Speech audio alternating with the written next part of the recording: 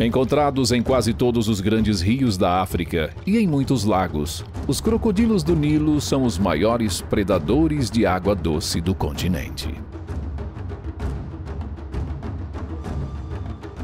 Conhecidos por sua técnica de caça de emboscada, os crocodilos são caçadores indiscriminados e atacam qualquer animal que esteja ao seu alcance.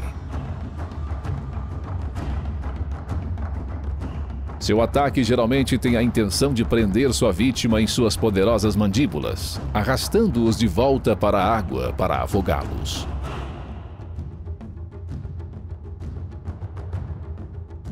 Os crocodilos do Nilo também costumam se alimentar de carcaças.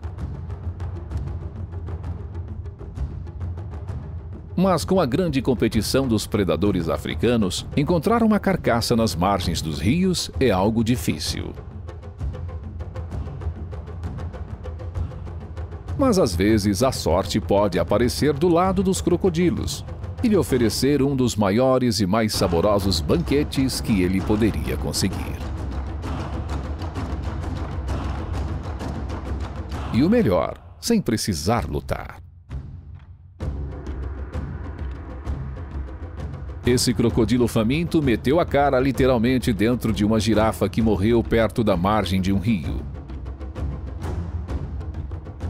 Depois de semanas sem comer nada, esse encontrou o paraíso.